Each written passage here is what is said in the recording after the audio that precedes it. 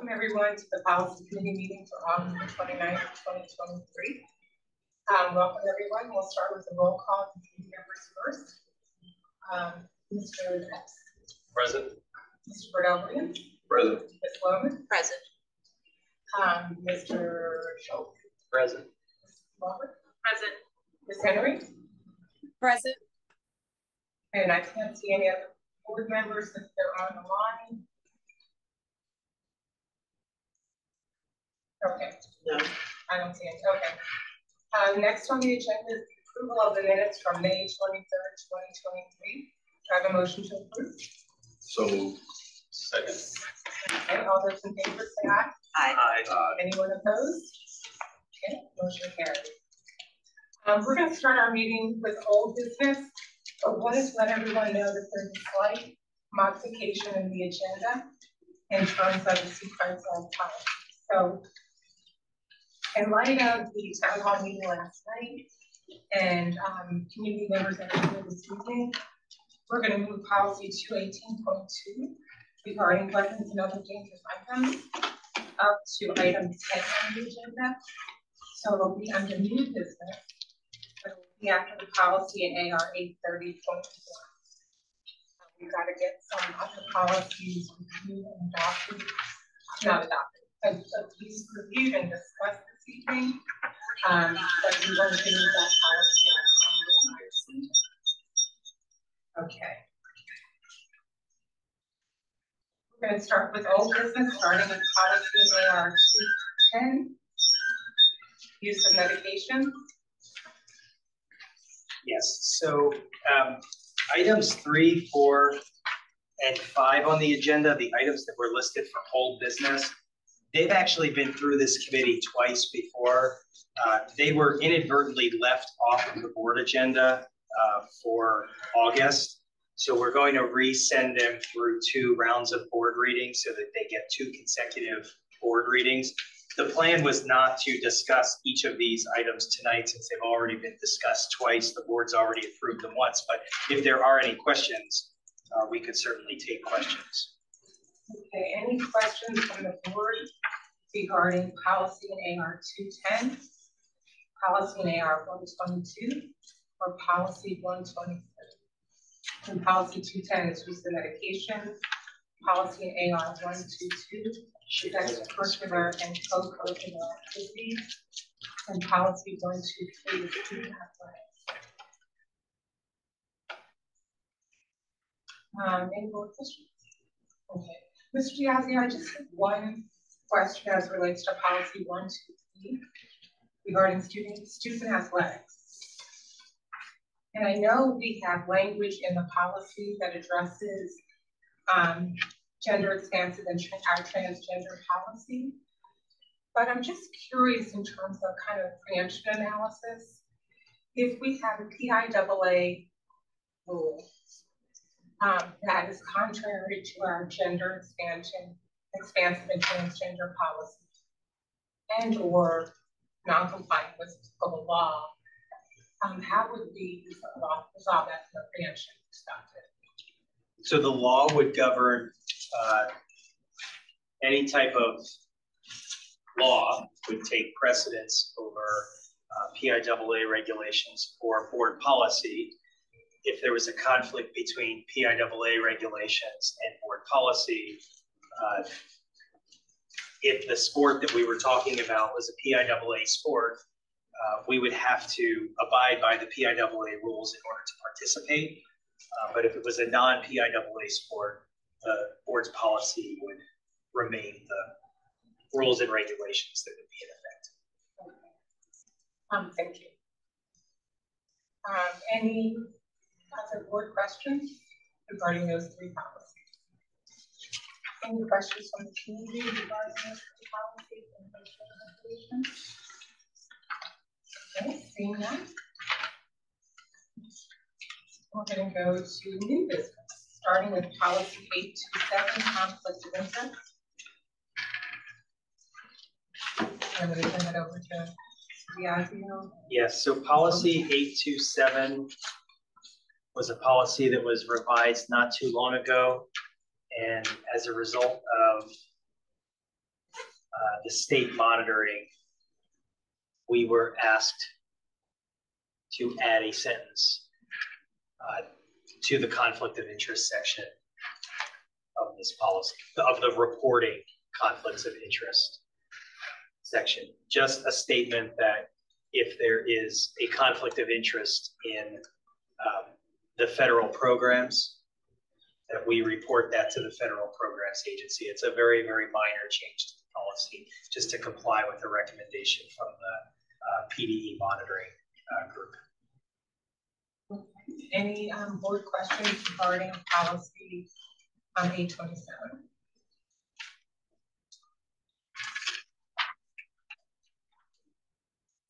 Um, Mr. Diaz, just one um quick concern. Under reporting conflicts of interest, we have um reporting any perceived conflict of interest, but we don't use the word perceived in other portions of the policy.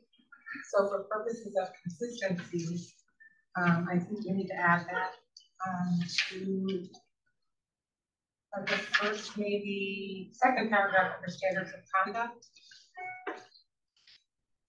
And then the delegation of responsibility. So to avoid any real, comma, perceived or apparent conflicts of interest. Okay, we can, we can make those changes, Okay. no problem. And is the language in the improper influence, the very first paragraph, which seems to govern um actions of individuals outside of the board? Um, Is that just for purposes of notice to the community with respect to any, any contributions to a board member or candidate for the board that would um have a purpose of influencing them? Correct. Yes. Okay, Trying to Scroll down, but. it says internet connections unstable. Because the second paragraph really is germane to the board's act, the board member's action. And so I just questioned, did we need that first paragraph at all? Under improper influence. Yes. Because that we may not be able to um control, nor would we be able to evaluate whether the donation or contribution was made purposes of influence, board.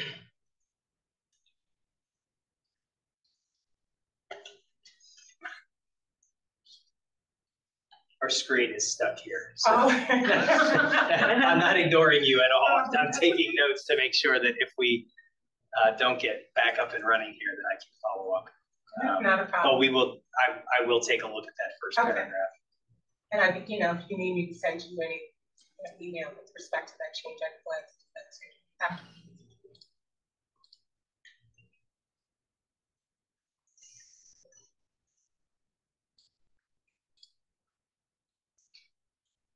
Say what I do have a question. Yes. Mr. Schultz? Um, under the disciplinary actions, that seems focused on staff and faculty within the district.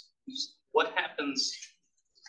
Or is there any language in here that I'm not seeing around if the, if a member of the board is found to have violated this policy?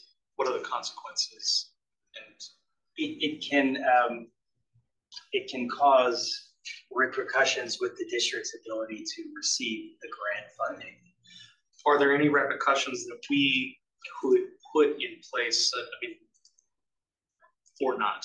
Like, as a board, our policy would be that a board member would have to step down or something along those lines, or is that not in the realm of authority?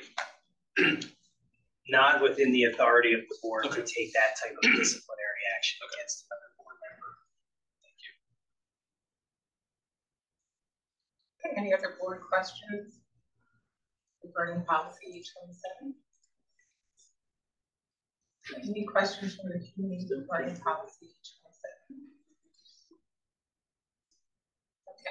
We posted as a first reading our next legislative meeting. Um, next, moving on to policy and AR eight hundred records management. Yes, so policy and AR eight hundred is the district's records retention policy. Um, The policy was last looked at in two thousand and eighteen, and it appears that when the policy was adopted back in twenty eighteen, we, we never completed uh, the administrative regulation, which was the actual retention chart. So the retention chart is much older than twenty eighteen. Uh, Mr. Swiger brought to uh, our attention earlier this year that uh, we should look at updating our records retention schedule uh, so that the district could continue uh, managing records in accordance with a schedule, which is something that we need to, which is something we need to do.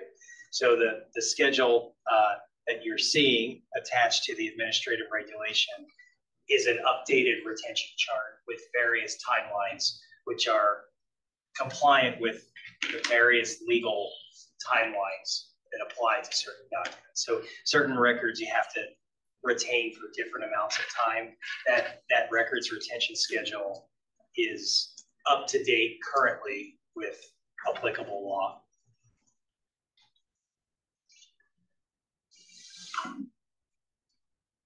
Um, any board comments regarding policy and AR eight hundred? Ms. Schubert?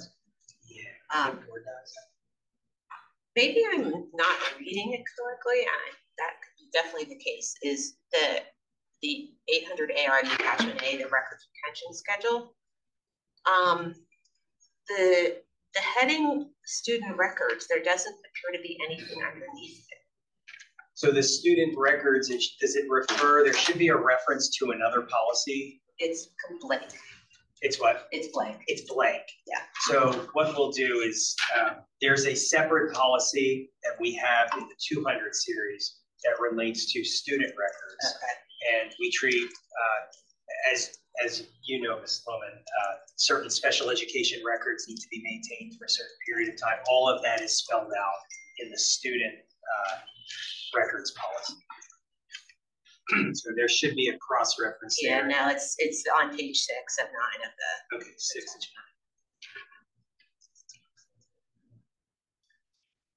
Any other board questions regarding policy and AR eight hundred? Mr. Schultz? As a mag reminder, um, once this is moving to passage, could we make sure that that attachment is in a PDF format rather than a dot doc? Yes. That's all, thank you.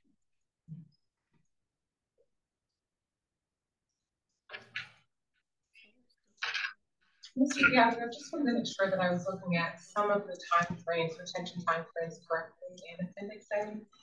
Um, some of them have thirty years, is it? Yeah, there are some, some records that are required to be retained for thirty years. Wow. Seems like a- There's all sorts of, there's all sorts of footnotes in there and, and, uh, all of the laws are linked there, but yeah, there are, there are several categories of records that have to be held onto for quite some time. And then just with respect to legal hold on procedures, Yep, um. Again, it it seems like if there's a matter that required, that was maybe related to impending litigation. A staff member could determine that that was the case.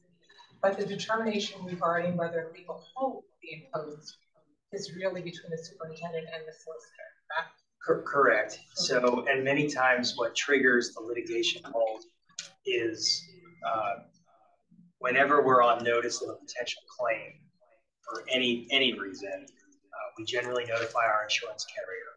And that notification to the insurance carrier is generally a signal that we have to implement the litigation hold. We get a claim number, and then we work with the superintendent's office and generally the business office um, to put our carrier on notice and to preserve any documents that need to be preserved. Can we then clarify in the first paragraph of that section that when a matter is likely to lead to litigation by or against the district, the superintendent will designate in consultation with the solicitor will determine whether legal hold will be um, placed in records? Yep. It just reiterates language that's already later on in that section, but I think it clarifies more precisely the process.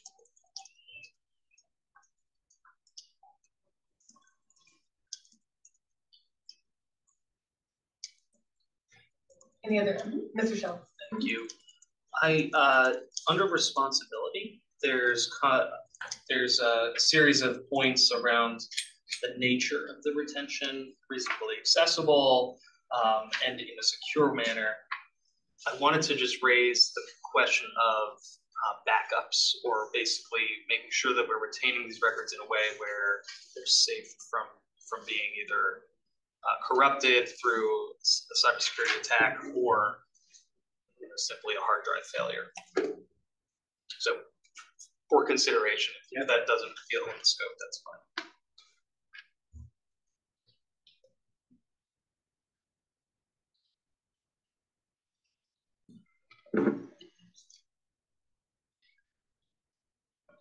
Any other board questions or comments regarding um, policy in the area of Any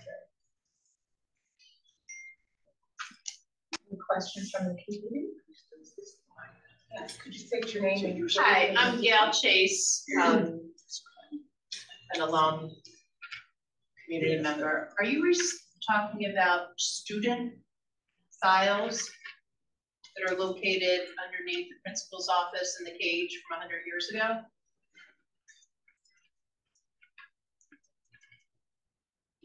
For you.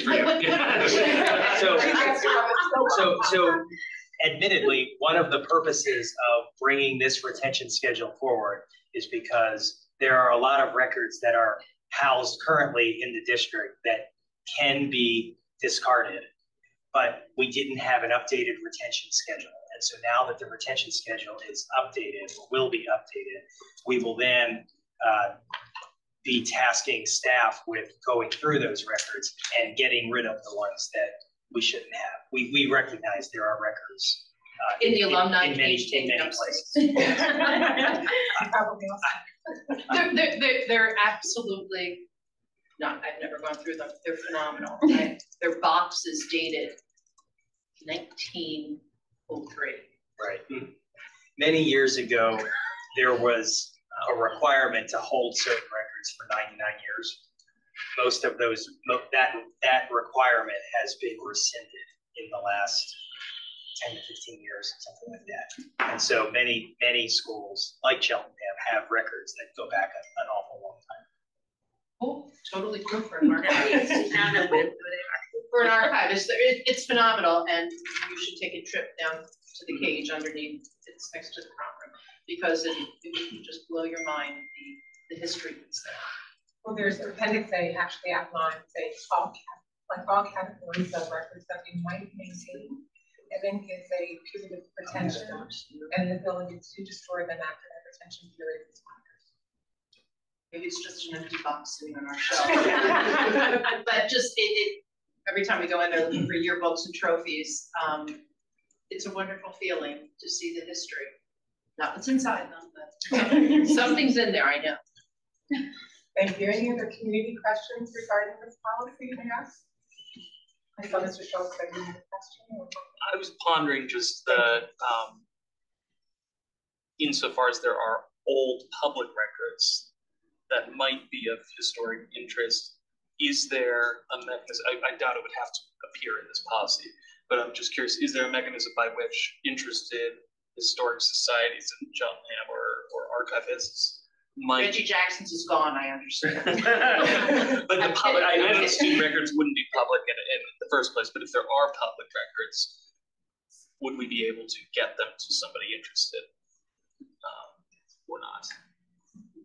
That I'll defer to administration. We, For we- old we- stuff that's actually interesting. We could, I, I don't know what exists. Um, there was a couple years ago, an effort to start to, um, it was actually when we needed to free up some space in this building. The records there are not in the best condition. Okay. So, um, I think we'll, we'll know the answer to that question once we start going through them and figuring out what condition they're in. But, but sure, there's something that's of, of importance or I can imagine an interesting PBL project Thanks. Question? Any other questions from the community or the board?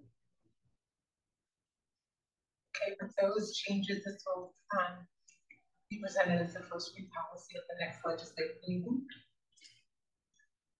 And next on the agenda is policy AR eight thirty, security of personal information slash breach notification. So policy, uh, item number eight and item number nine on the agenda could probably go together. Uh, Policy in AR eight thirty, security of personal information slash breach notification, and policy eight thirty point one, uh, data governance, uh, storage and security. These are both new policies.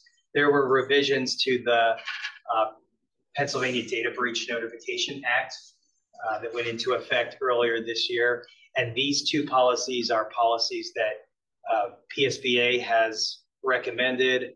Uh, my office reviewed them and uh, we are recommending bringing them forward. Uh, there are additional policies that we have to have in place. Uh, they just talk about the processes to, uh, processes that are in place with managing records with sensitive information and the steps that we would take in the event that there was some sort of breach. Okay, any board questions? And this does comply with the breach notification. Correct. Yeah. That's right, as amended uh, most recently, correct. Um, any board comments with respect to policy in AR on eight thirty or eight thirty point one? Thank you. I don't know which one this would apply to. Um, I noticed that, I guess particularly this- the breach notification policy seems primarily reactive. So in the event of a breach, here's what must happen. Um, is there a policy that talks about cybersecurity and what we need to be doing to keep ourselves from having a breach in the first place? It, like, does that exist? I don't know that that exists in policy. Um, And so it occurs to me it might be appropriate to, it's, it's a project, it's not something we would brainstorm in this meeting. Sure. But it might be appropriate to think about what best practices we would like to put into policy uh, in our district to prevent um, breaches. So there is some language in eight thirty point one, the AR as relates to data governance system and security. um, related to training. That's Um, great. It doesn't talk about I the the AR kind of doing tabletop exercises. Um, you know, really doing some education around cybersecurity, cetera. And on top of it, because there's Actually, you know, operational security where, yes, we want to teach our, our staff not to give away their password or fall for phishing attacks, but there's also technologies that can be incorporated that augment those security. So password management systems being utilized in the district or, if, again, I don't, I'm not going to go anywhere any deeper, but I could, there could be room for a more robust. There's some general language, Mr. Schultz, in eight thirty point one. I think what you're talking about might be more, um, I think what you're gonna see in eight thirty point one is high level language. And you're, you're thinking more operationally, and we can, we can, we can look at that. I've made a note to Thanks, yeah. follow up on that. Yeah, that almost would be more data security plan, Mhm. um, internal operational, not necessarily policy. Because there's language in it that we put in that does talk about, excuse me, um, you know, multi-factor authentication, um, other things that we can do on a proactive basis to make sure that we're on our basic. And I would, I would state that, uh, if the board so desired, we could give an update on what the precautionary measures are that we are taking, because a lot of what you mentioned, we are actually Great, doing. I figured, I figured as much. Thanks. I'd be interested, but only if it's easy to do.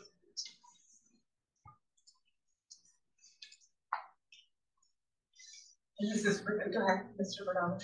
Uh, just a, a general question, and I'm not gonna pretend to be a, a security expert in, in the matter, but just, um, I, I recognize that the, the verbiage around personal information that does not include that's like publicly available, so I would expect that that include the person's address, because it doesn't exist here.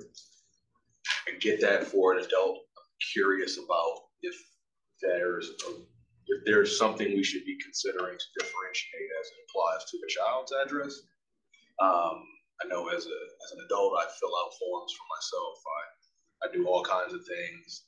Um, and I might do that on behalf of my child, but I'm not sure that I would want the district's records that has my child's address on it to be, um, you know, not privy to the personal information piece. Like, I get it.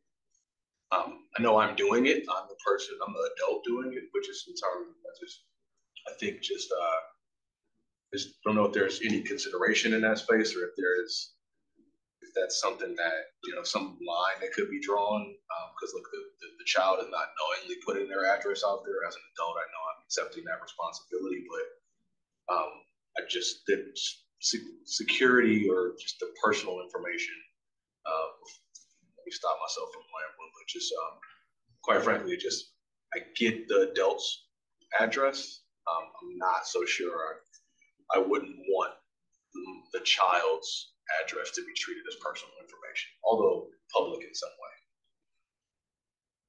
And this policy is not intended to be a policy about what information the district will disclose. So we have a separate policy that complies with FERPA that says we don't release information in student education records or anything like that.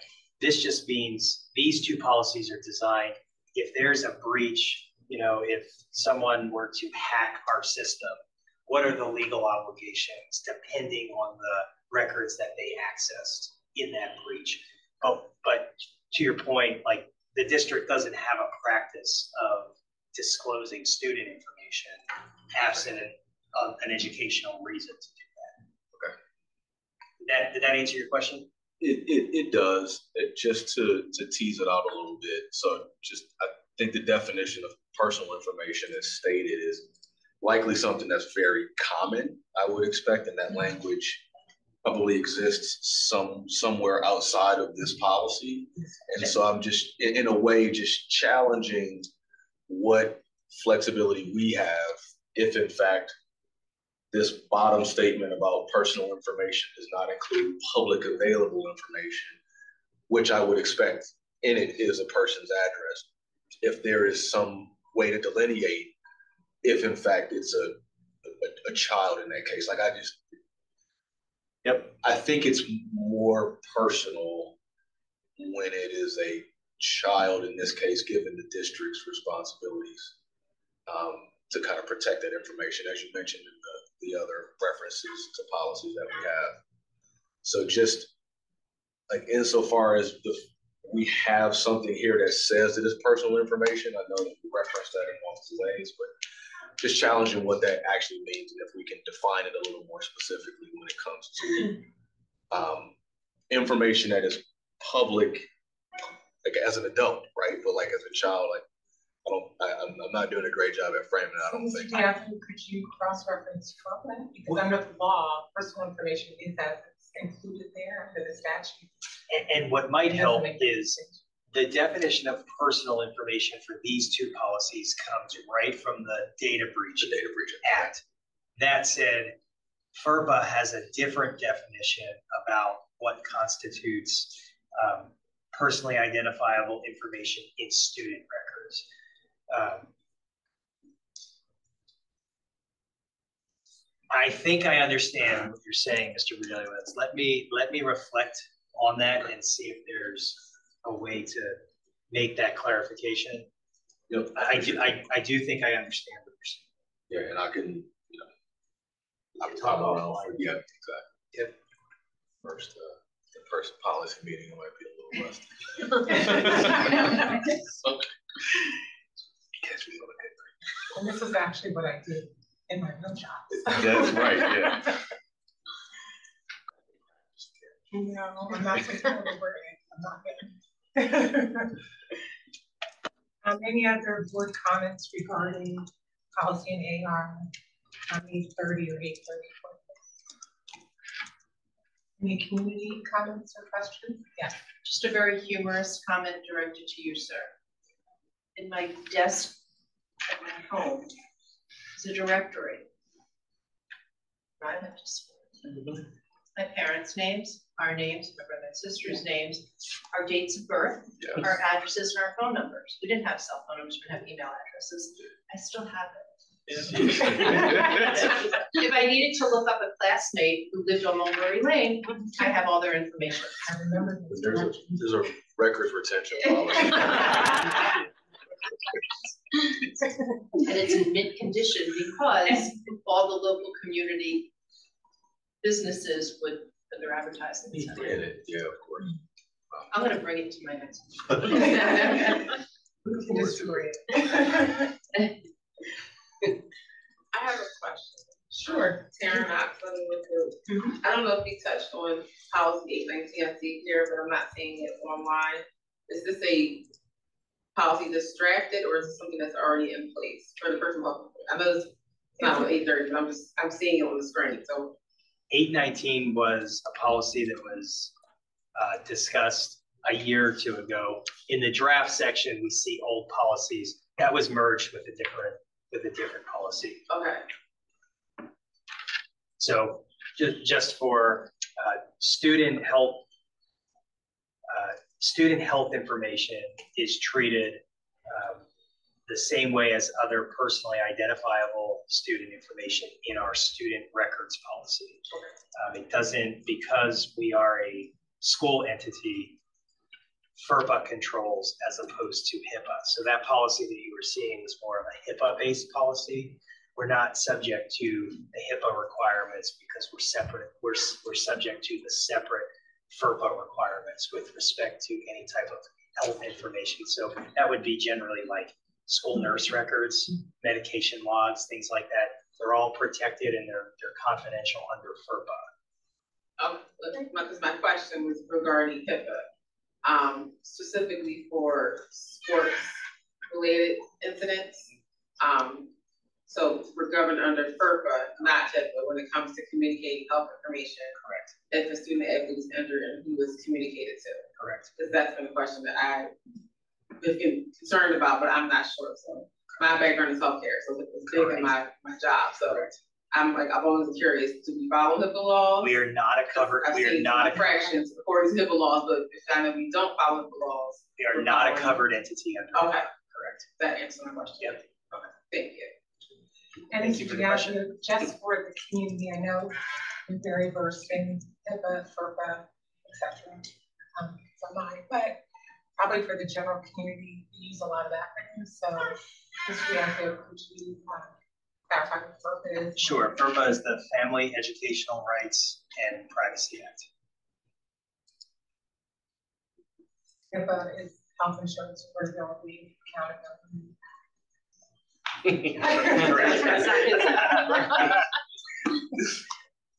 I, I paused because I was saying it in my head before I said it out loud. So thank you for that.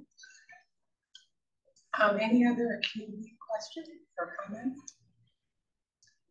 Okay, There's no hands raised. We're good. is there any raised? Oh, good, thank you. Okay, then that will also go back, um, be posted as the first read at the legislature. Correct. Thank you. Um, as I stated in the beginning of the meeting, we moved policy two eighteen point two regarding weapons and other dangerous items up in the agenda, and now that's the next item on the agenda. So, um, Share again. Mr. Bianco, and just as a note, earlier today, Dr. Scriven also shared with the community some additional related policies, two of which we will not be discussing this evening, but wanted to make for the record are related policies regarding weapons. That's policy three fifty-six and policy nine oh four regarding public attendance in school facilities. But this evening, we're gonna be discussing two eighteen point two. Excuse me, two eighteen point two. Yes, so um, policy two eighteen point two is the policy that applies to students. And it's the weapons and dangerous items policy it's very much uh, consistent with state law. So the definition of weapon is a is a definition that comes from state law. If you read under the guidelines, there's been some questions. I know a lot of individuals in the community have asked, what is the discipline uh, or the consequence for bringing a weapon to school? As a general matter, uh, school boards have broad authority to implement codes of conduct and consequences for different infractions. There are only a, a few, uh, weapons may in fact be the only one, where state law actually dictates a consequence when an offense happens. So state law actually states that if a student is determined to have brought a weapon onto school property, they shall be expelled for a period of not less than one year. Uh, the board, in consultation with the uh, superintendent, or, or actually the superintendent in consultation with the board, uh, could seek an expulsion for a longer period of time than one year, but the but the law states not less than one year, with the caveat that uh, the law does give the superintendent some flexibility to recommend a shorter expulsion for uh, mitig- you know mitigating circumstances.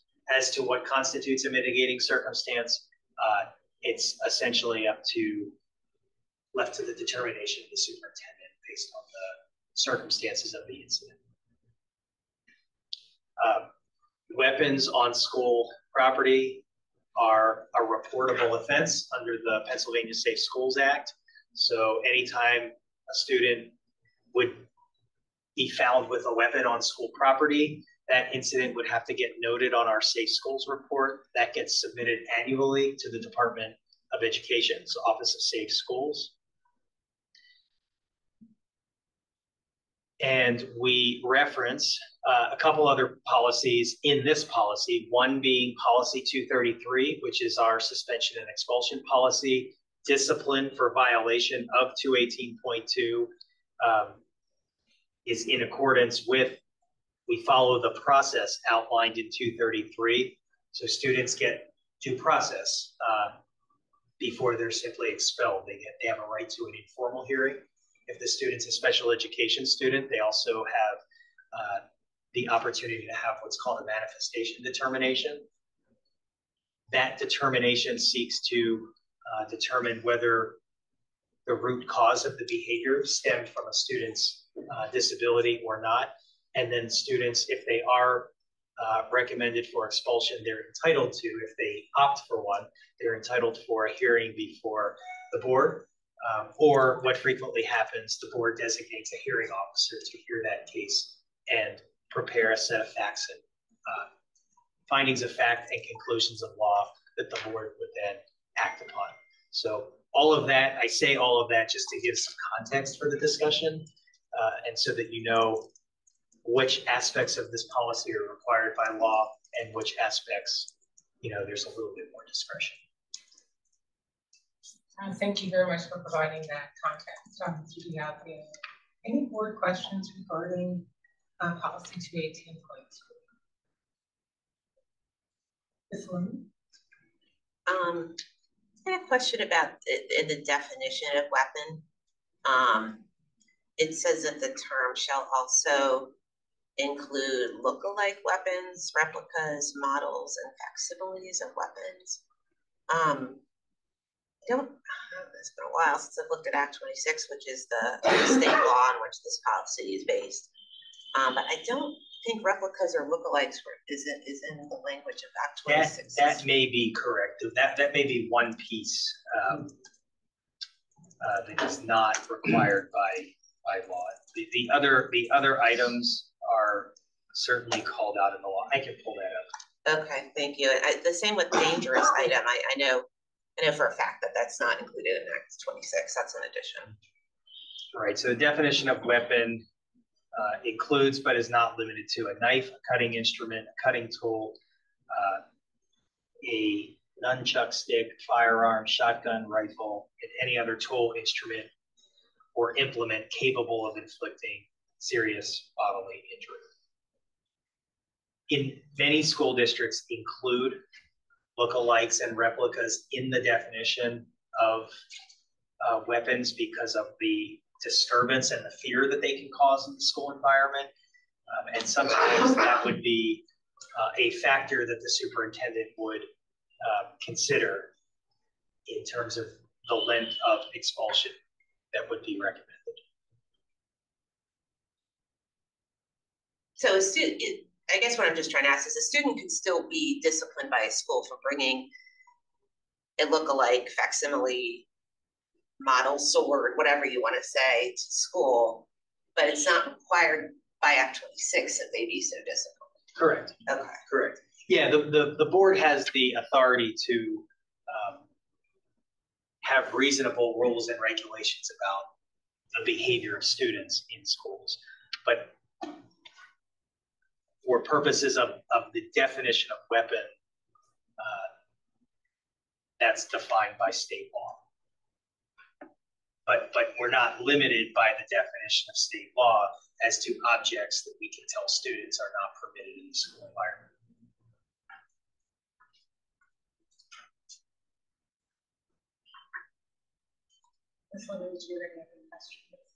Um, no, I mean, besides that and the inclusion of dangerous item, this is pretty much verbatim from what the, from the state law. I mean, this is sort of, it's there because it has to be there.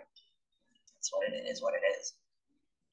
So my main reason for really wanting to bring this to the table um, was because there were concerns around uh, our transparency with sharing with the public as a whole what our policies were with respect to weapons. Um, so this was the one step of honoring that request uh, to bring it to the table in a public session so that we could have that dialogue which we are having right now. Um, I guess my question, uh, Mr. Diazio, is there, or did we attach uh, a AR for two eighteen point two? I know So- there's one for two eighteen. Yeah, so, so with two eighteen point two and then also uh, policy three fifty-six, which is the weapons policy for staff, and nine oh four, which is uh, the policy that states that uh, at school events, no one is allowed to possess weapons. We don't necessarily have administrative regulations because the policy is fairly absolute, right? No weapons. Right. So uh, the board in the past has determined that there hasn't really been a need, and the administration has determined there's not really a need for regulations because it's a pretty absolute rule. You can't have them, and if you do, we follow the law in terms of uh, how we respond. It would be different, for example, um, if weapons were permitted under some circumstances, but not under others. The regulation might outline when is it appropriate to have a weapon, when is it not appropriate to have a weapon. But in this case, since the rule is fairly absolute, no weapons, uh, there's not really a need for an administrative regulation. I think if I were making any recommendations to the committee, I don't know that we need the term dangerous item in this policy, and I actually think it, it, it would be an enhancement to this policy if we merge the definition of weapon and dangerous item, not necessarily to call out all of those other those other things like smoke bombs and stink bombs, but to, to, leave the definition uh, consistent with what's in the state law. You'll note that this policy has a last revised date of August of 2017. Believe it or not, this is actually one of the oldest policies on the books. Um, you know, we, we are looking at an average age of the policies of three years. So 2017 is one of the oldest ones. So it wouldn't be the worst thing uh, to clean this policy up a little bit, uh, make the definition section just contain a definition for weapons, and uh, maybe modify the title instead of it being called the weapons and dangerous items policy, just have it be called the weapons policy, which is consistent with what we did in the staff section of the policy manual. And would it also, uh, be acceptable to define why there is no AR to this policy? Um, just so that's noted. And the reason I asked the question was more for the public. Uh, because I really want to educate our public around this topic. And I want to be as explicit uh, as I can with how we are governing um, ourselves as a district with respect to this topic. Sure. So um, that, that's my main reason for wanting to elevate this and the other two that will be forthcoming. Could I just pose a procedural question? Um, in the absence of, of not having an AR, and I can understand the why you don't have that. Some of the recommendations that were made last night that are already, some of which are already in place by the administration as it relates to sporting events, like, you know, doing the long game, um, book or no book bags at events, et cetera. My understanding is that that would be part of it not a policy, not an AR, but a, um, a, um, procedure that would be documented, but not necessarily incorporated into the policy or Just wanted to clarify. Right, that's, that's, that's correct. Well, I was just gonna, if we, it's at, so two eighteen regards students, three fifty-six regards staff. So nine oh four is not a weapons policy for the public it's about. So I guess I, maybe if we're looking at those other ones to see clarification, some there, because that policy talks about a lot of other things and it only mentions, I think, weapons once and it's kind of not buried, but it's in a long list of other things. So maybe making that, or at least look at it. So that it- there's some continuity. Um, I'm just gonna, I, we have to have, we have to have this two eighteen point two, we have to have it, it's a state law, Act twenty-six is a state law, we had to have Act twenty-six, because we wanted to get money under the Gun Free Schools Act. Um, I am gonna make a, a bit of an argument for why you might want an AR. Um, having been on the other side of Act twenty-six, representing children who were facing a year or more of expulsion for bringing a, weapon to school. Everyone likes this law until it happens to their child.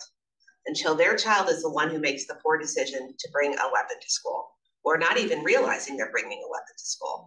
I've represented kids, very young children, and this is why the where the AR comes in, very young children who brought pocket knives to school, who were expelled for a year um, or who were going to be expelled for a year until we got involved.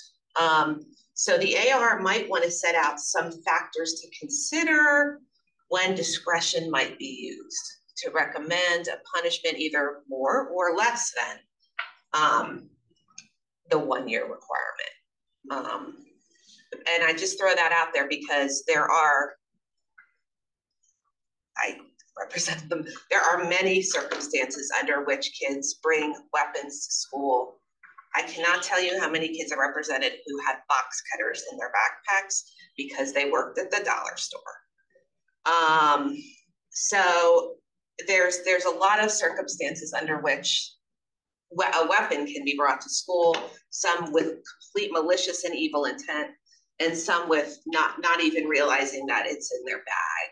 Um, so it's it's a whole it's a spectrum, I guess is what I'm trying to say. And there's you know loaded guns, and then there's two inch pocket knives, and those are all weapons.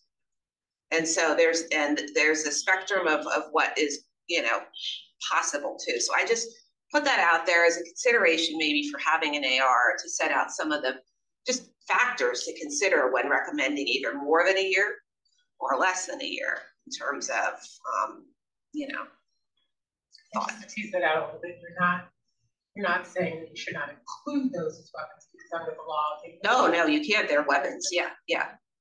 Yeah, no, you can't, that, the definition is extremely broad, which is, I guess, what I'm saying, that because the definition is extremely broad, like, the consideration of when there's some mitigating circumstances becomes that much more important, I think, because there's so many things that can be considered a weapon under this, a.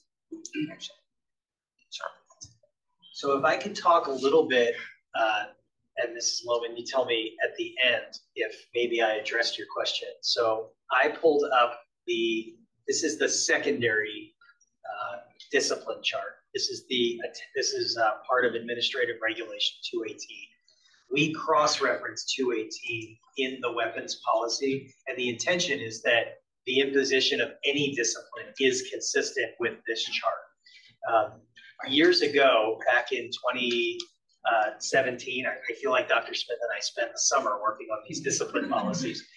There were many different policies that talked all about the consequences for discipline. And we wanted to bring them together in one document, one for elementary, one for secondary, to standardize the, the way in which discipline is administered.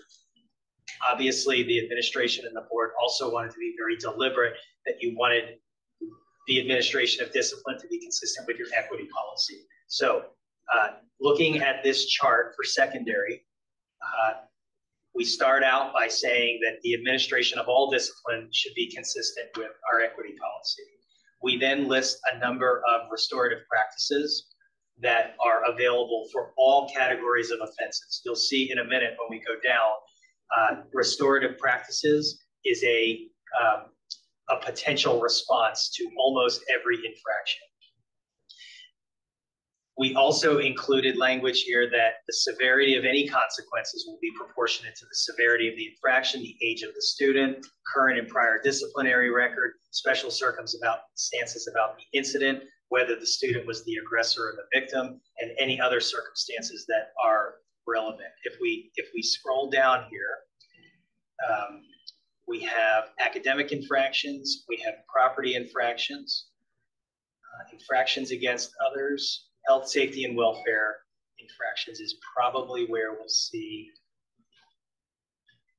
Weapons factor. Yeah, the weapons are Fine. there. So for weapons and other dangerous offenses, we list expected conduct, so maintaining a safe and orderly school environment. Violations of that rule would be violations of policy 218.2, which would be bringing a, a weapon onto school property.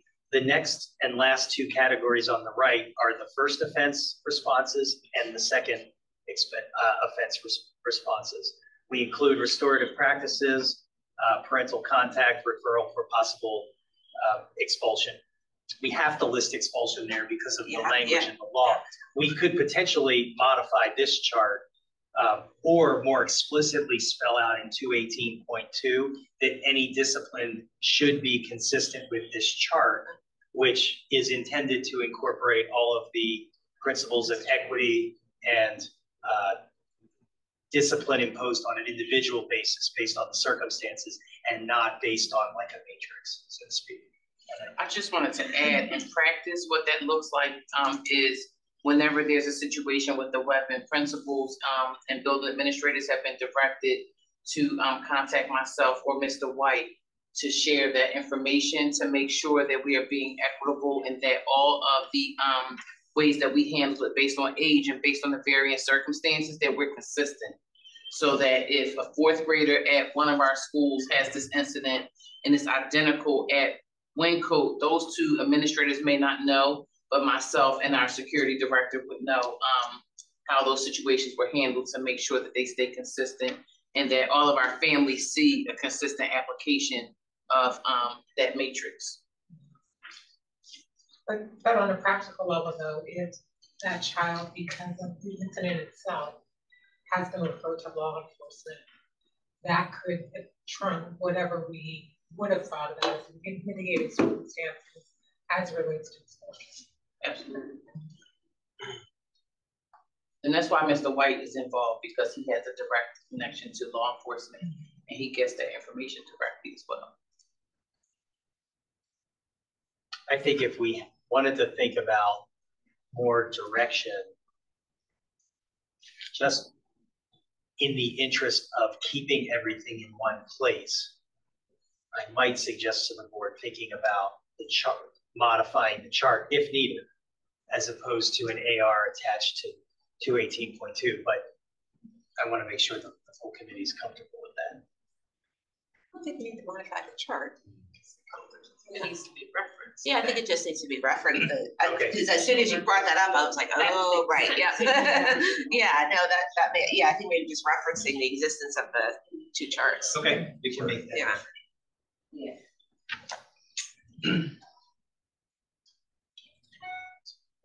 I'm sorry, Mr.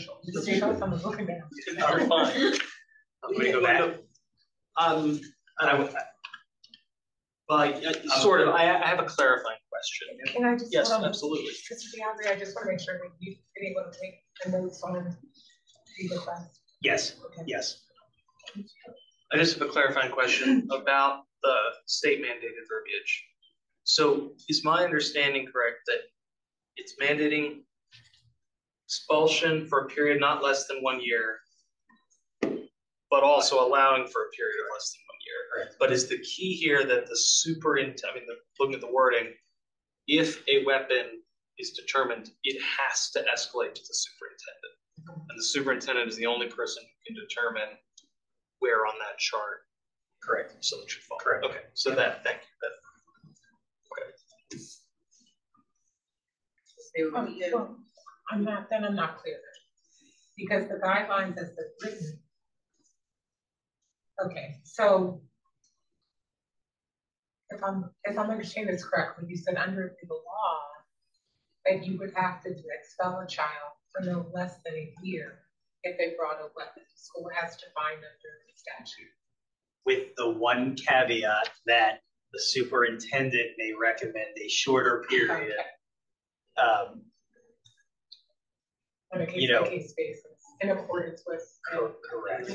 So the default is a year. Yeah. When an incident with a weapon takes place, that automatically would get referred up to the superintendent. For other infractions, uh, like, let's say students were, two students were involved in a physical altercation. The building principal would initially handle the discipline. If the building principal determines that through restorative practices or other discipline short of expulsion is warranted and nothing more, they resolve that at the building level. It doesn't necessarily get to the superintendent's desk, but with weapons, it's the superintendent that is the individual that makes the determination as to um, whether a lesser term of expulsion would be imposed. And not always, but almost always, the times when discipline is imposed short of one year would be those examples that Mrs. Long gave. You know, clearly, uh, someone brought something in their book bag that was unintentional, or something that was not intended to harm that may have been there for a legitimate reason over the weekend, or something like that. Um, those are usually the the instances where that comes up. Any other board questions? Um, Mr. Evans? Yep, just one. I remember us talking about this when three fifty-six was revised. I probably brought it up because I, just the, um, in the, the definition of weapon in three fifty-six, um, it does have the caveat that the term does not include any item approved by the superintendent or designee for possession in conjunction with a lawful supervised activity or course. So I could, I, I see that playing out as that adult permitting a child to use this. Like, I don't see a what an adult would do, um, unless it was just unless we're talking like exclusively for law enforcement, um, like supervised activity or course. But the reason why I said it is because that language doesn't exist for a student. Th- it- Is it is it there? Yeah. it's very, Oh, it's just written a little bit differently, not in the definition of weapon. Interesting. I remember the conver, I think we, we talked about reenactments, right? We definitely did, yeah, I absolutely. I mean, remember the conversation. School play in high school. Okay. Yep, uh, disregard my question, thank you. Any other questions or comments from the board? I can't see that far, so. No one online? We do that. We do have an attend, a virtual attendee. That- Okay. With their, I'm gonna allow them to speak. I'm gonna go to the folks first here in the room, and then I'll go to the virtual attendees. Okay, Okay, thank you. Um, anyone in the community have a question or concern about two eighteen point two? Okay, then we'll go to the virtual community.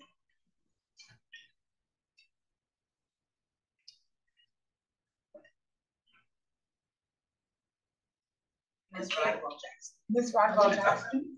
Hi, can you hear Yes. me okay? Yes. Okay. Thank you. Um, so first, thank you for bringing the, um, the policy forward and for the discussion.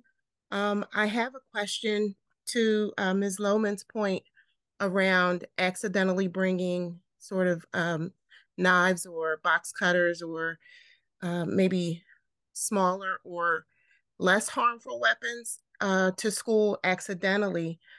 Um, I can see how that would happen.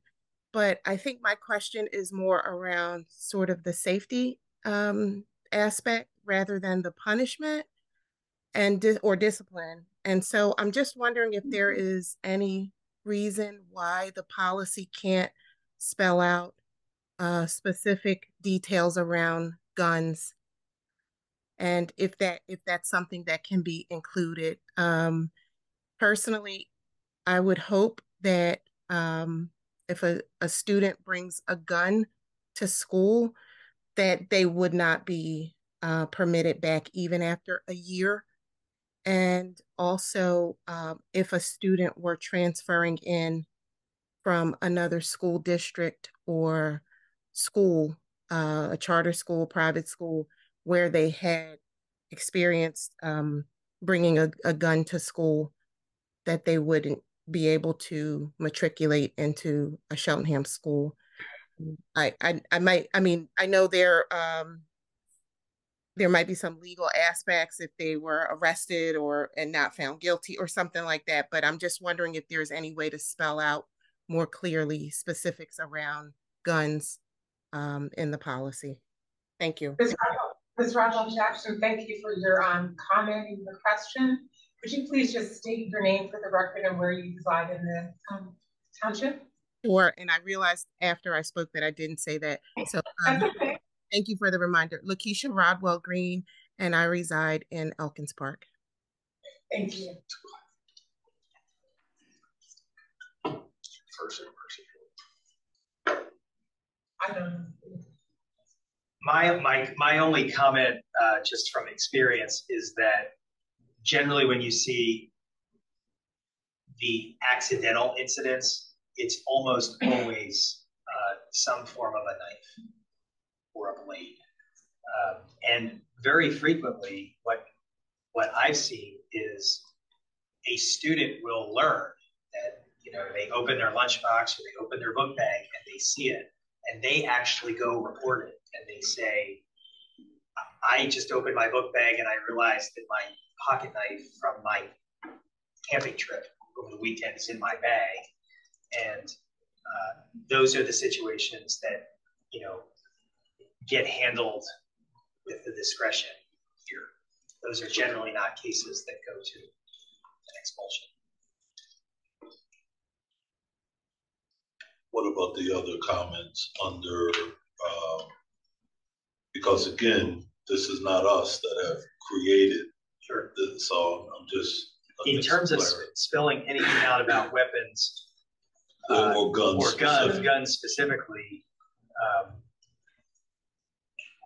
you can always try. This is one of those topics that is, in my mind, hard to address, hard to think about every possible set of facts that you might deal with, and trying to put that into, you know, a sentence or two may be hard, but there, there's nothing that prevents the board uh, from coming up with more of an absolute statement that if this happens, then then this.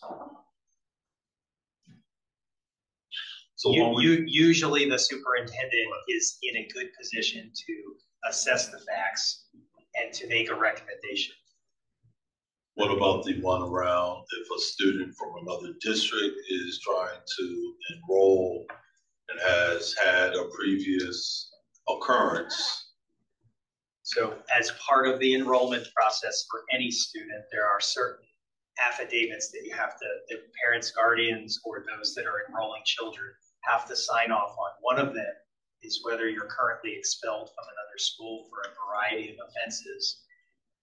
As a public school district, for students who reside in your district who are of school age, you have a legal obligation to educate those students. However, if you have a student that is on an expulsion for certain offenses, you can maintain that expulsion and place the student in an alternative placement uh, for the duration of that, of that expulsion. You don't have to then, so if a student from another school district was expelled for a weapons offense, and the family now relocates to Cheltenham and they seek enrollment in Cheltenham, Cheltenham would get the discipline record from the other school district, see that this child is gonna, is, was gonna be suspended in the other school district for nine more months. You don't have to go through a process to re-expel that student. That expulsion remains, and you can place the student uh, in an alternative setting for the period of expulsion. But you, as a public school district, you don't have the ability to say, we're gonna turn you away, you don't get an education, because we, we have to educate everyone that's school age that resides in our district. As a board, do you feel that there needs to be any additional clarity around that scenario or not? Maybe if there's a cross-reference to the affidavit that um, Mr. Piazza was referring to, that might be helpful to include. That's just my, my thoughts. I don't know if there's consensus among the policy committee. on that. I see heads nodding, so, yes. Clarifying question. Sure, Mr. Shaw. So what you just described is already in place. It's not just a theoretical possibility. It's, it's what we. Correct. it's what Required by law and in place. Correct.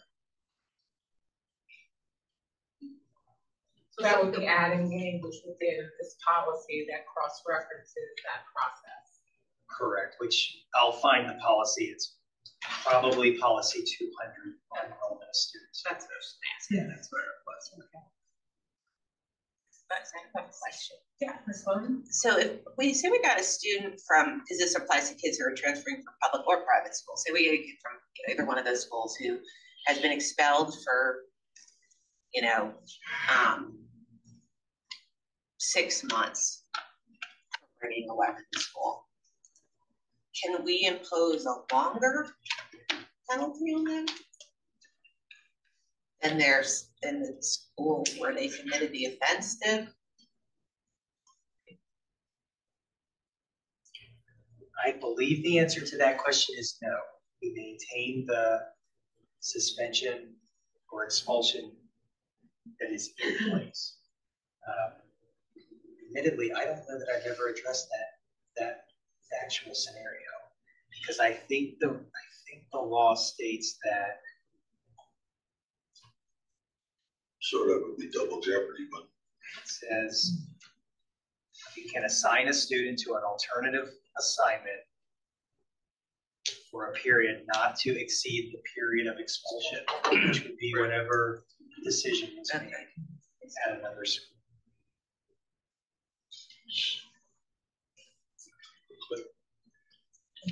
Um, Mr. Shaw? Did you have something? Go ahead, I was just, uh, moving forward, I was, I support the cross-reference to. Yeah.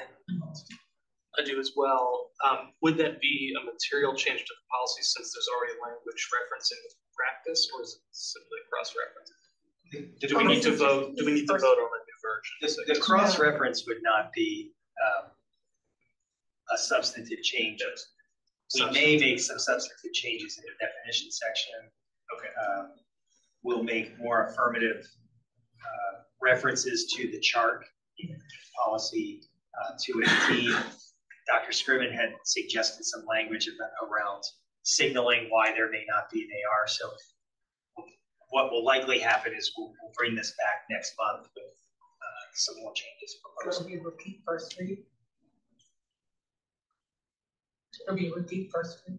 It won't even go for first reading because it hasn't even gone yet. Well, I think the goal was to have the discussion here.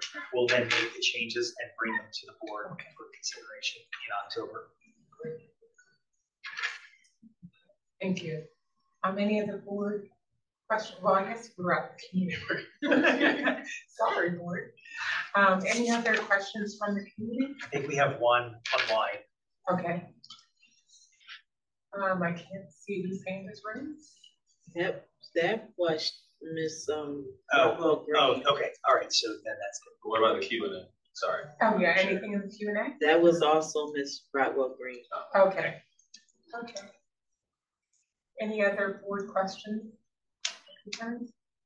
Okay, so this policy will come back to the policy committee in the October meeting as a new revised policy. Correct. Based on And, current- and what we'll do in the meantime, if it would be helpful, is we'll also look at three fifty-six and nine oh four. And if there's recommended changes, we'll bring all three back at one time and can have a discussion about all three.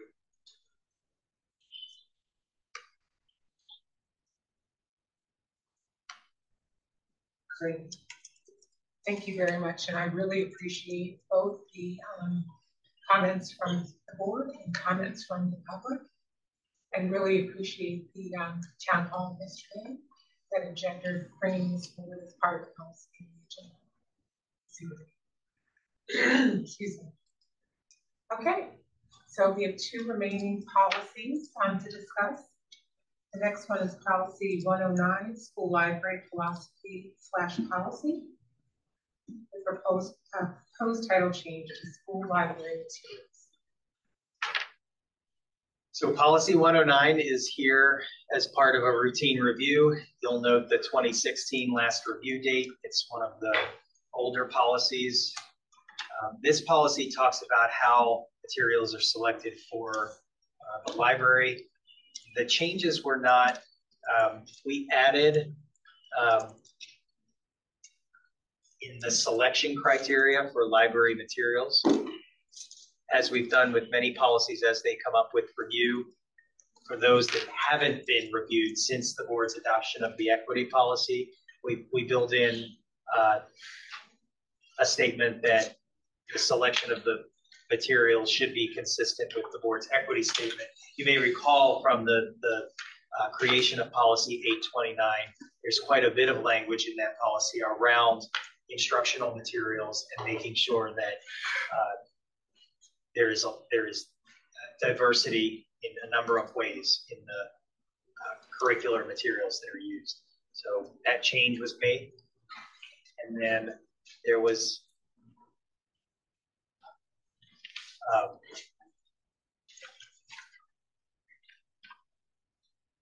we clarified the process for uh, challenges to any materials. That goes through uh, the assistant superintendent's office. Previously, there was a reference here to a curriculum materials review policy. That was a policy years ago that was repealed. Uh, so we so we tweaked the, the question materials process, and the current practice is that that uh, goes through the assistant superintendent's office. The the district sharing language uh, was was just not applicable any longer. And this library bill of rights, this was language that was in here previously. However, the American Library Association's uh, philosophy had changed since 2016. So the statement that you're seeing here is the current philosophy of the American Library Association. And the, the statement aligns well with Cheltenham's uh, vision and equity statement and what we believe the board would be looking for in philosophy around library materials. Um, Any, any questions from the board regarding this policy? Ms. Um, first, I just, I did want to just recognize and say thank you for the inclusion of the ALA's new um, Bill of Rights. It's really, really happy to see that it's in there, um, especially these days. Um, the the uh, the question that I had really was around the language, the new language added under question materials. Um, in order to sort of have standing to question library materials, do you have to be a resident or a taxpayer of the district, or can it come from anyone? It's interesting that you asked that under the library policy, not at library in Cheltenham. Um, you have to be a resident of the township in order to bring a challenge to the library. So there's there is no there is no entitlement by um, non-interested stakeholders to just make challenges to school library materials.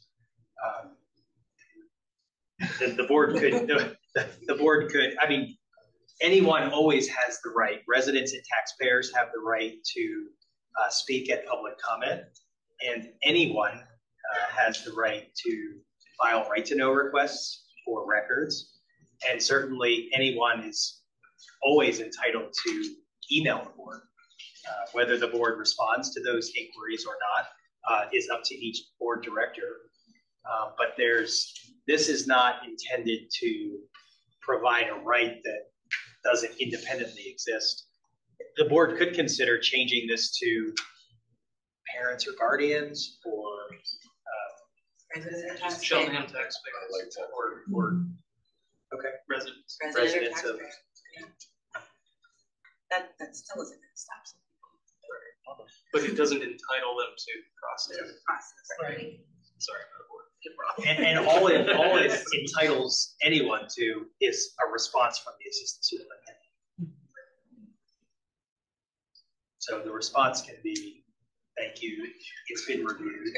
This textbook is consistent with our, you know, mission statement and curriculum, and thank you.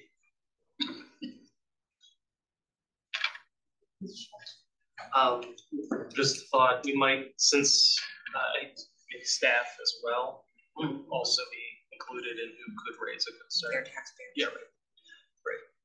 Oh, is that right? I guess. That's why you say, that's why you say Interesting. resident.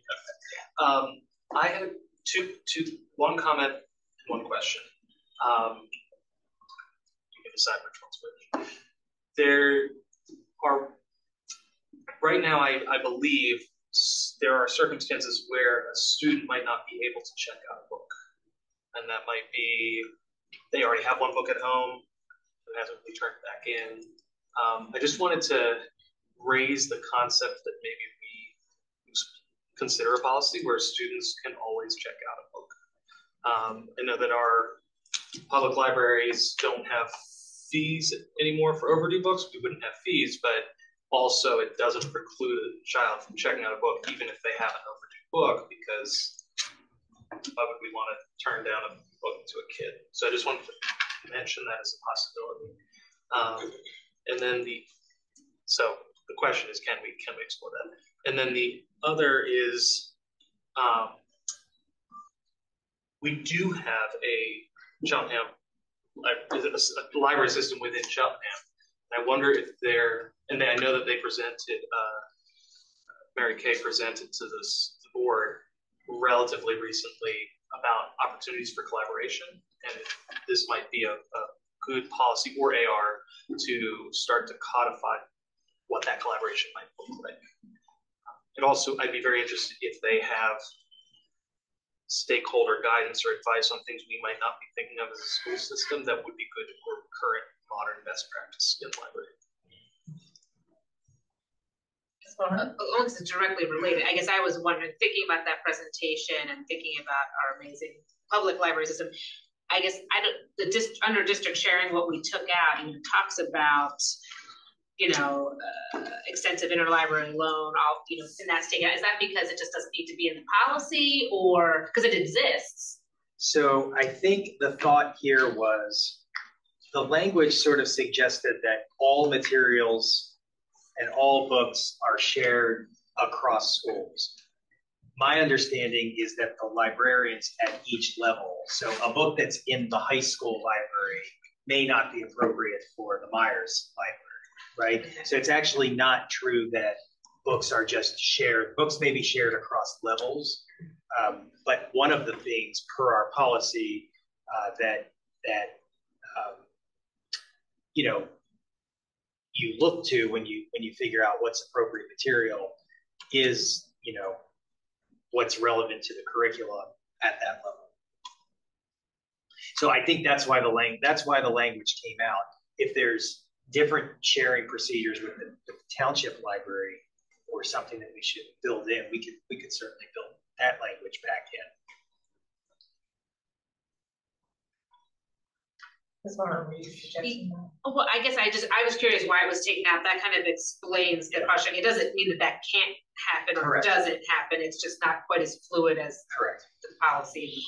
But I guess now it's missing completely, and I don't know if it needs to be in there or not. I- It's fair enough if it doesn't need to be in the policy. I don't know the answer to that, but I just wanted clarification.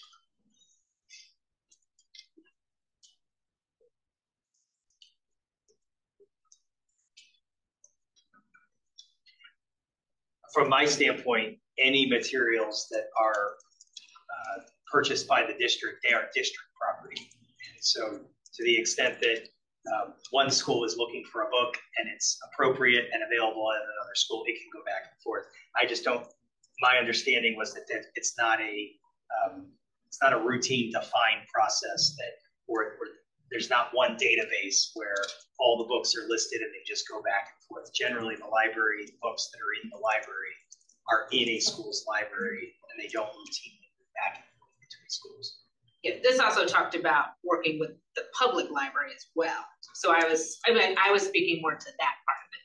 As Mr. Schultz just, you know, talked about working with the library and then noticing that had been taken out about interlibrary loan between the And does that libraries. loan program exist back and forth currently? I don't know if it's back in, I don't know if it's only school district borrowing from, I, I don't know how it works. You know, I think the library does provide some. Yes, that was my understanding Okay. from Ms. They Moran. also trust the. So we'll, we'll confirm that and then maybe that last sentence of that paragraph, maybe we'll retain that district sharing language and it would just be that last sentence.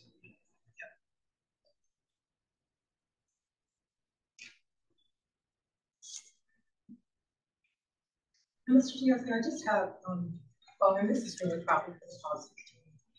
In the very beginning to the purpose section, um, even though we have language later on that talks about kind of an inquiry-based uh, approach to the library and library resources, it's further down in the policy.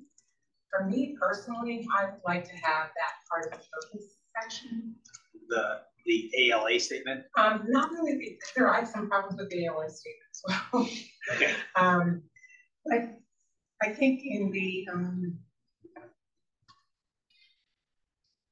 we talk about, you know, developing global twenty-first century skills, and that's really based on a library system that has an inquiry-based approach that engenders creativity, problem solving, you know, um, celebrates the diversity of our, um, staff and students. So I think that is a purpose statement is more important to include earlier on in our policy rather than later. Even though we have language later on to that addressing. it. so this second sentence of the purpose, maybe flipping it Yes, with, and making that the, the way that the policy leads off. right, but add, adding language that really talks about kind of what I just talked about. Yep. The purpose of what the library is for. And I harken back to Mary Kay's um, presentation a couple of months ago during a Cheltenham Library System meeting, where she talked the library system as being mirrors and windows, meaning that our library um, materials really reflect the diversity of our community, meaning that it's a window to who they are, but it reflects who we are to the outside world as. Um, and I think that concept really resonated with me as a community member in terms of what I hope our libraries are doing. Um, school libraries are doing as well. Um, the other concern I had was, I, I'm glad the ALA statement is here. My only concern is that it doesn't really specifically address kind of the protected categories under, under the law um, by naming them. And I do think it's important from my perspective to name those categories. So for example, in number one, talks about origin, background, and use of those contributing to the creation of materials. Number five, uses similar language. And then number seven also uses similar language. And I think it should actually include the protected categories like race and ethnicity, and sex and sex- sexual orientation. Um, specifically. It's just too general for me. But that's my opinion.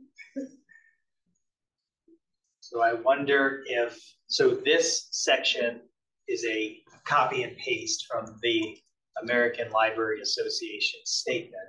So we could either modify this, but then if we modify it, then it's not the American Library Association statement. It would be a- an iteration of Cheltenham's take on that statement. Or we could supplement this to say, in addition to uh, the position statement of the American Library Association, the board also believes, and then list the things that are missing. So the ALA statement could be the floor, the board could always add more language to it.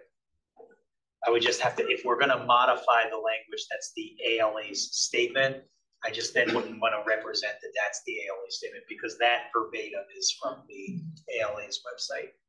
The other option would be to, um, maybe asterisk those provisions of the ALA statement that are specifically from the ALA, and then to the extent that we modify, um, paragraphs one, five, and seven, that we, um, indicate that those are, you know, specific to. Mr. Shaw? Just, uh, um, similar to that, we could, couldn't we just specify up front that what we are writing here is inspired by the ALA? But we don't need, I mean, and that is crediting them, then we can do whatever we want after that. And I guess first like to get some consensus whether we want to include those protected categories specifically in policy. I'm just wondering. Yeah, I'm, I'm, yeah, I would, I would be in support of that. I mean, it does, it does, I mean, in fact, align with our position and our equity statement.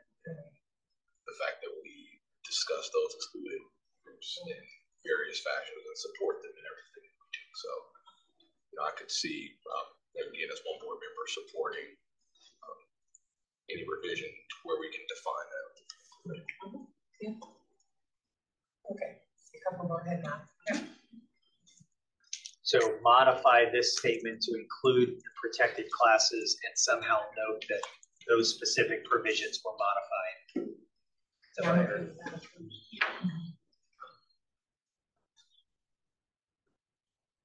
Any other board questions or comments? Any questions or comments from the community? Any hands raised on Zoom? No, no hands raised. All right.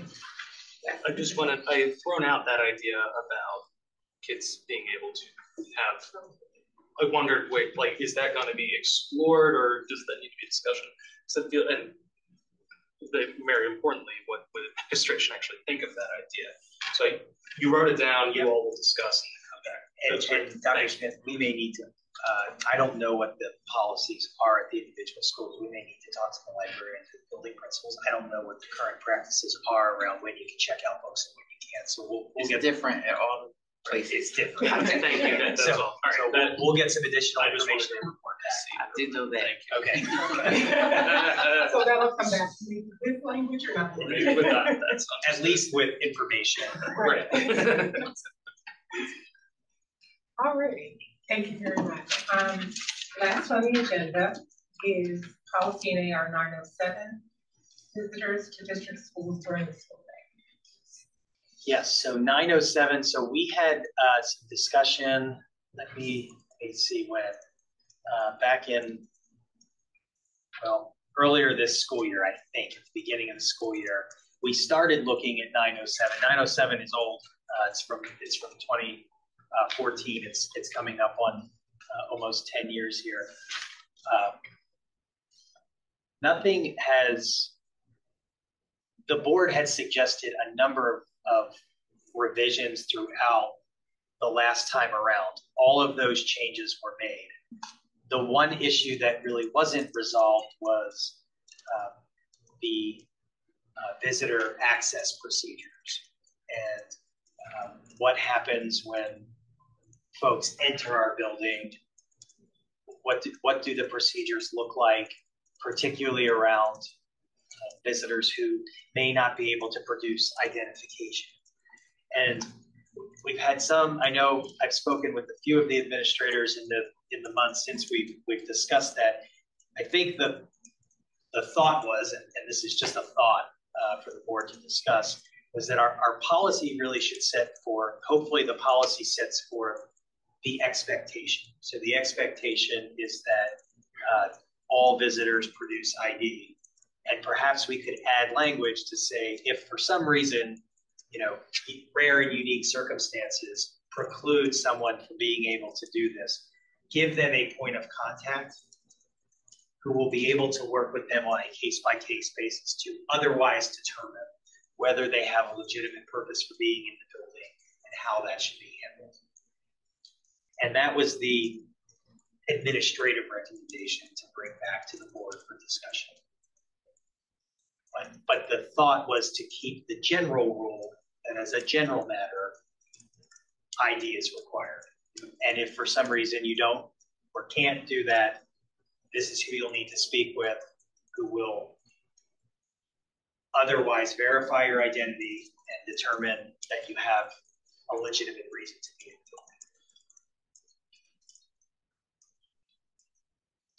any board questions or comments regarding um, policy AR number seven? I know we had an extensive conversation the last time we discussed around identification.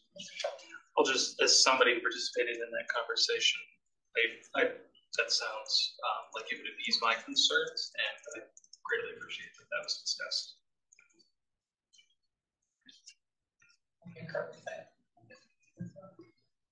Any other any questions or comments? Any comments or questions from you?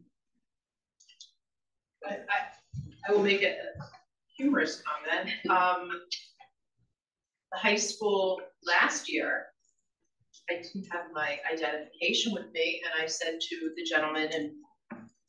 Jarvis, who know me, I have my identification, well, I can't let you in. And I, I respected that, and I had to go back to my car and get it. Um, I thought they everyone should know. But, uh, my high school picture didn't work at the time. But, no, but it, it, it, it's good and it's in place and it's effective. Thank you. Tara Knox, one two. So I'm not sure, this question is really more of a, um, if a family has a domestic issue where a protection from an abuse order is in place from a parent regarding the child, um, how do we notify the school so that this parent is not supposed to be coming to the school to up the child? What is the process for that? That's something I'm not sure of at all. And I don't know if it's broken down in this policy or is that a procedure or is that covered So the student services office, um, a lot of times that information comes to the district at enrollment, at least in uh, not necessarily like a PFA or something like that, which can come up at any time. Um, but many times at enrollment, if there's um, a custody agreement, uh, that will outline uh, the rights of the different parents at different times. Those uh, uh student services uh, implements those uh, custody agreements, communication with the appropriate school officials. Generally, when there are times, and you know, and they they do happen, they're, they're routine where um, courts will impose limitations on uh, one parent or a family member for any number of reasons. It could be a temporary situation, it could be a more permanent situation. Uh, those those agreements, those uh, court orders are received by the Student Services Office and they're reviewed. If there's questions about the interpretation of them, they, they routinely come to my office and then they're communicated out to the, to the school levels. It's actually a process that's uh, you know, unfortunately fairly routine and has um, not not just at Cheltenham, right? Just everywhere. Uh, and there are there are good processes in place to make sure that those things are implemented with fidelity. Thank you. Usually with, with something like a PFA, the, the, the parent that is the protected, protected from the potential abuse, uh, they are, they have every incentive to notify the school and it usually comes to us from, from that parent. Thank you. Thank you for the question. Um, any other questions in the queue?